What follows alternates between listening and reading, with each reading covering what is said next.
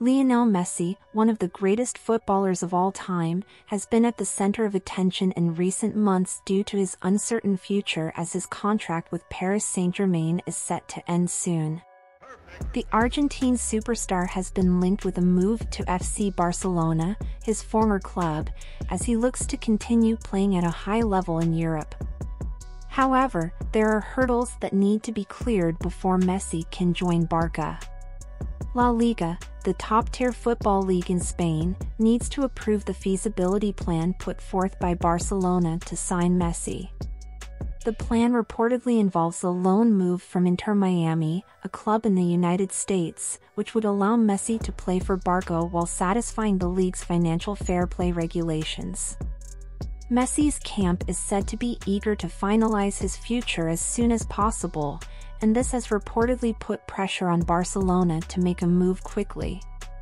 At the same time, there is an astronomical proposal on the table from an Arab football club that could sway Messi's decision. It remains to be seen how the situation will unfold in the coming days, but it is certain that Messi's future will have a significant impact on the football world.